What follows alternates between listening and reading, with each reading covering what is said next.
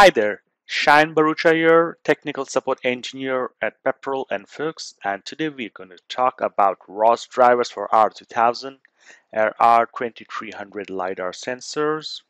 And in this video, I'm going to go through the installation of the driver packages with ROS and its utilization procedure. First things first, let's discuss what is ROS. So ROS stands for Robot Operating System.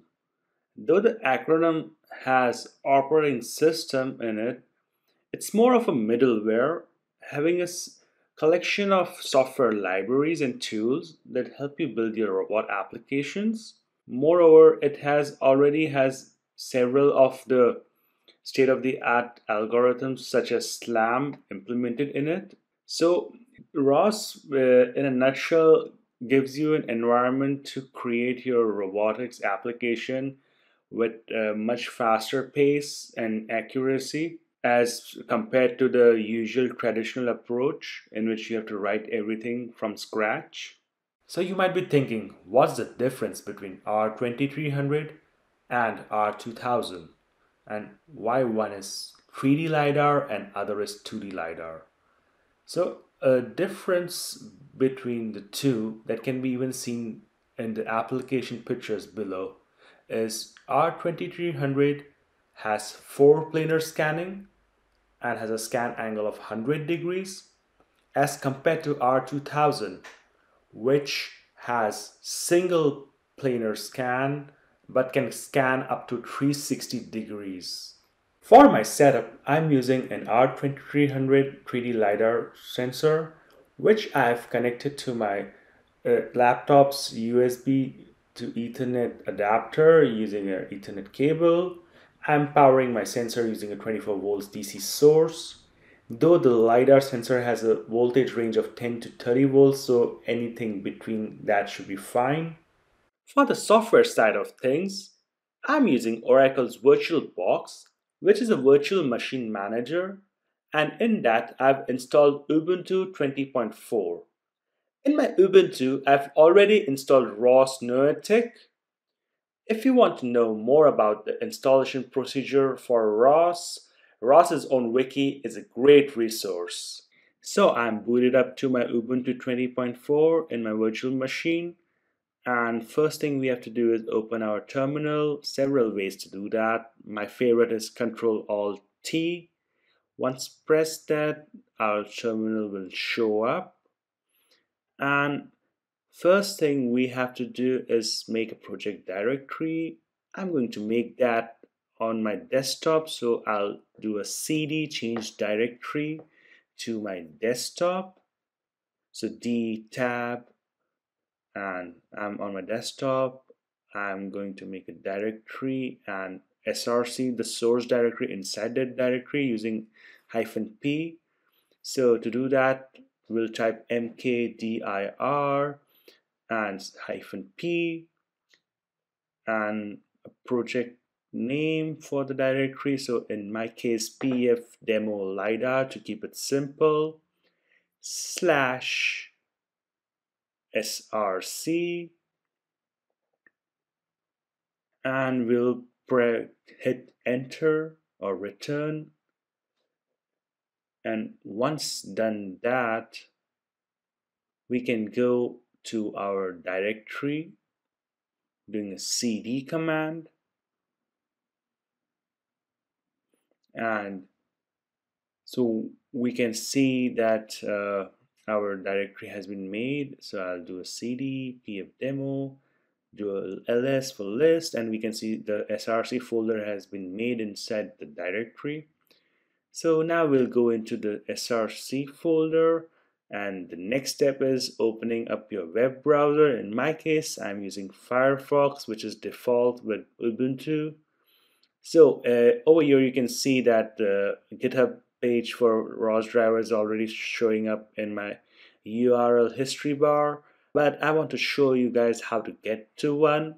So one way is to type in the URL that's github.com slash pepperlfuchs slash pf underscore lidar underscore ros underscore driver or the second way which is my favorite is just do a google search so typing r2300 or r2000 r2300 pepperl and fuchs and ROS. So we are just making conditions for google to pick our link. And we can see there are two links. One is wiki and one is a github link. In our case we are going to use the github link. So I'll press that and it should load up my github page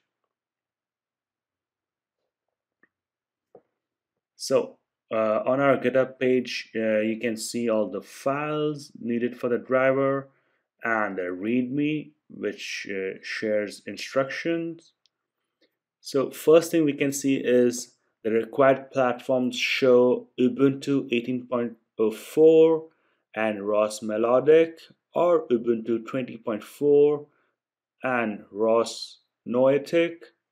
So ROS Melodic is basically a predecessor of ROS Noetic and if you have a system that runs with Melodic you can run these drivers in that too works fine.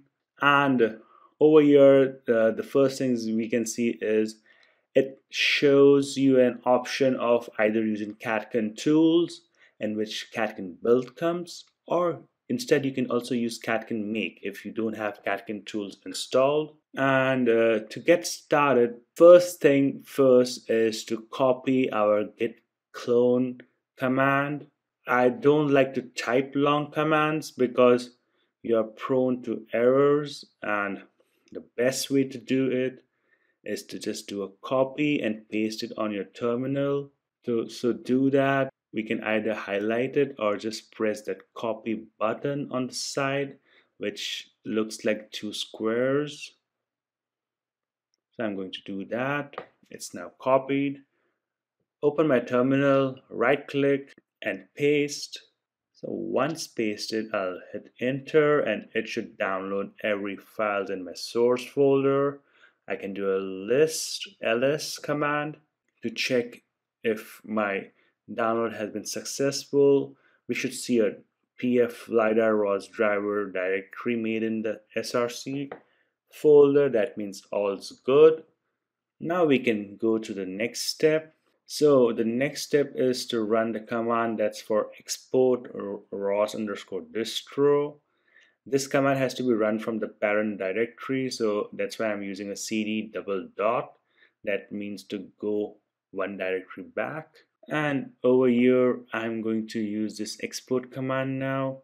This basically um, tells the make to you use the ROS distro which is installed. So if you have a melodic it will select melodic else it will select noetic. So I'm going to copy and paste this command in my terminal. Hit enter. Nothing comes up. That means all's good. Now I'm going to do a rosdep update a small command so I'm not uh, bothering to copy it just typing it up. It's going to take some updates from the github page and get everything made according to the installation of our ROS after that we are going to do a ROS install. And again I'm copying the command because it's long and prone to errors if I go and type it. Hit enter everything's installed all's good no red so we can move forward. And in this now we have to do a source so we have to source the ROS noetics setup. I'm going to type source slash opt slash ROS slash now it's it's written ROS distro but if we do type that nothing should happen because that's a placeholder. Placeholder for the type of ROS you have already installed. So to just demonstrate I'm typing ROS and doing a tab and nothing comes up. And I've done I've installed Noetic so I'll type N O and tab and it will appear. And I'll do SET tab autocomplete and bash as I'm using a bash terminal. If you're using a some other terminal, uh, there are other extensions for this setup file and you have to use that. So once I hit enter, it should be good. With the sourcing and now I can do a catkin build. Now we are ready to build our project. To do that, I'm going to do catkin build, hit enter, and now we can see that the project has been built successfully. Uh, summary is all two packages succeeded. Uh, we are looking for blue, green, yellow, and purple color text, nothing red. If there is red, then there is something wrong. Now I'll do is source my workspace. To that, to do that, I'm going to type source devel setup.bash. Uh, if I'm using a different terminal, I'll take that extension respectfully from this uh, folder. After sourcing, we are almost there. Now I have to amend my launch file. So to do that, I'll go to my pf source p tab for autocomplete pf d underscore d and tab again for autocomplete and l tab for autocomplete and will be in our launch directory. We can see two launch files, R2000 and R2300. I'm using an R2300, so I'm going to amend the R2300 launch file. To do that, I'm going to use Vim. You can use any editor of your choice. So we can see an XAML file, which is basically the format for launch files. And so what we have to do over here is in the scanner IP defaults, we have to put in the IP address of our R2300 in this case. And for me, it's 169.254.96.114. Once done that and saved, I'm going to open my Oracle VirtualBox Manager so we can change the network adapter from NAT to bridge adapter for our virtual machine. So I've gone to settings, network, selected my bridge adapter and selected appropriate adapter USB uh, to Ethernet adapter on which my ROS R2300 is attached. After doing that, I'm going to go to settings and enter manual IP address of my Ethernet adapter I'm doing this so every time I launch open my Ubuntu I don't have to switch between NAT and bridge adapters to get those to pick up the settings. So I've in the address I've entered the address of my USB to Ethernet adapter putting it my subnet mask. Hit and apply. I'm just going to toggle on and off for the Ubuntu to pick up the new settings. And now we are ready to launch our launch file. So to do that I'm going to type ROS launch space r2300.launch and hit enter. You can see our ROS core is running.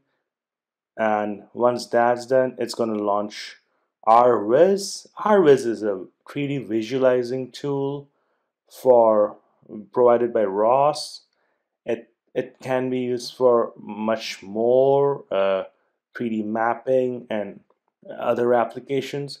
So in our case, we can see our 3D model for the R2300, which is represented in a, that red box.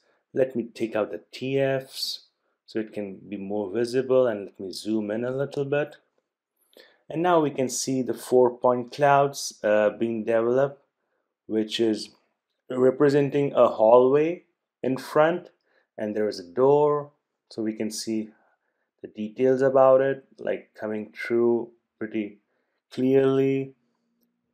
And what I'm going to do now is I'm going to walk away and try to like open and close my door to show you the visualization which is happening so you can clearly see my door is closing and opening and so this is basically the ROS data that's been represented like in the point cloud. And you, we can even do a top view to get a much more clear view of the room. And if we have an R2000 this can be even 360 degrees. So once that's done let me show you something else we can check all the topics which have been published. Uh, so to do that let me go through my directory project directory. To do that I'm going to do cd dot dot dot dot until we are on our project directory and I'm going to do a source as I've opened a new command shell. So with eh, opening a new command shell always do source and a ROS topic list to show all the topics that have been are being published by the ROS core right now. And we can see there is cloud cloud underscore one two three four. So the cloud is an abbreviation of all one two three four uh, cloud topics. And each cloud topic is uh, representing a scan. So we can even see the raw data coming in and to do that you just have to type ROS topic echo and the topic's name. So cloud underscore one in my case. And when I hit enter I should see the raw data stream coming in. And as you can see it's lots of points intensities and ranges that, that are being published. And I've just used control C to stop it and clear. So now to close everything we're just going to go to the ROS core's uh, terminal and do a control C and it will end everything and close. So with that we are done. I hope you found this video informative and if you have any questions please feel free to comment or ask us at ask at us.pepperl-fuchs.com and with that uh, subscribe to our YouTube channel and hit the bell icon to get the latest and the greatest in industrial automation in Pepperl Fuchs. Thank you very much uh, for watching the video and uh, have a great day.